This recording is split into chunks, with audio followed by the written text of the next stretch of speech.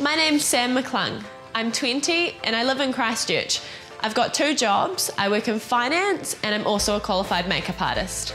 If I was to win Miss Universe New Zealand, I would have one message for young women. It is important what's on the outside, but it's also as equally important what's on the inside.